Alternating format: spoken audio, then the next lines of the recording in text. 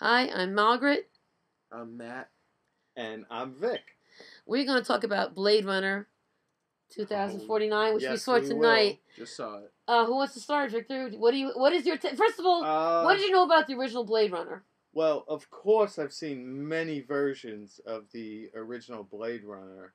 Um, when I was younger, it was kind of hard to make sense of it, but as time went on, and there were more AI films, I Mhm. kind of, kind of got into it like that, you know, like, and the new Blade Runner was just, um, I gotta say, Um, even though I got in at a low price, yeah, I got more than Five my dollar. money's worth, man. I Five mean, dollar. on Tuesday. Five even dollar. if you pay full Thank you, Matt. price, you're getting your money's Please. worth because this is really, um, it's it's a deep movie.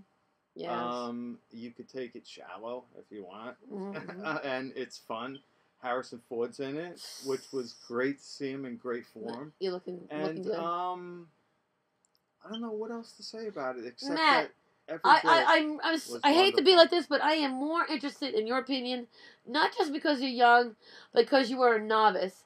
You worked, you watched Blade Runner one. How many days ago?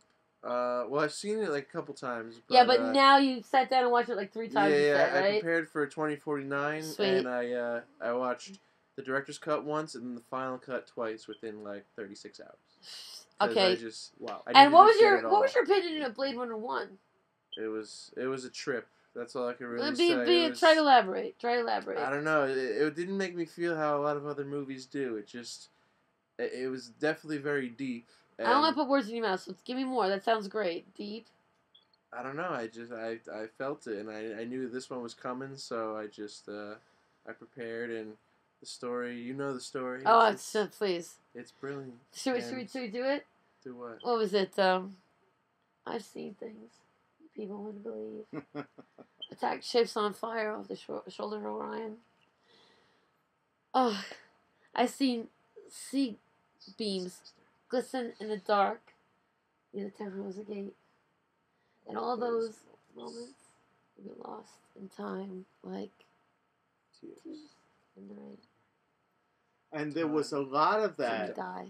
in the movie. Oh, what did they call there it? There was a lot of like rain. Oh, oh well, in the, front of what the do they call it? screen. The There was a snow. lot when you're of flavoring when you're flavoring the old movie. a lot of liquidness Uh, in the lighting of the movie. I was very impressed by, as a filmmaker. we, uh, we are both filmmakers and actors, It, it was just and so are you. um, I put you on fantastic. IMDb. How's it like? How's it to be on Um, IMDb? I Right. loved Harrison Ford in the movie. Oh. I thought it was a great. Um, I, I have nothing bad to say about the movie. They didn't go too far with.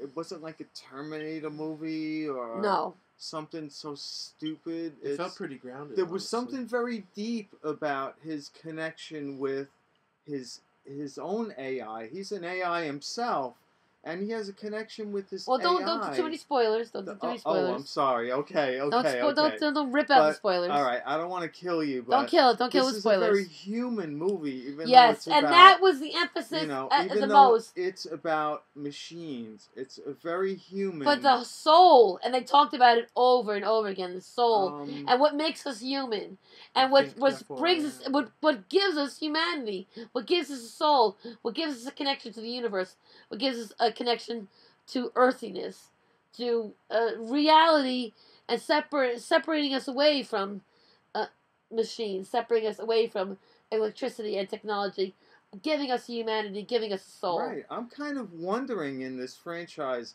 why they're like going after these machines. I mean, well, yeah, and they and they left um, that cliffhanger there for part I, three. I really don't get it kind of Mm. in that kind of way. You like, uh, why wouldn't we welcome? I mean, maybe it's a threat somehow. It must be something primal, but there's something much more deeper to this movie than the action film effects that I always think of this. obviously come along with it. I always think of this. If we are souls, and I think we, we surely are, then are we not avatars anyway? Do we are we not organic beings that carry the soul? And if we're making organic beings, how dare we be so obnoxious to think that they don't have a soul? And how obnoxious should we be that we are thinking that we can put ourselves in the place of God? For, for surely, if God creates all, that we are leaves on the tree, and we are only fulfilling our destiny and fulfilling the destiny of the greater power.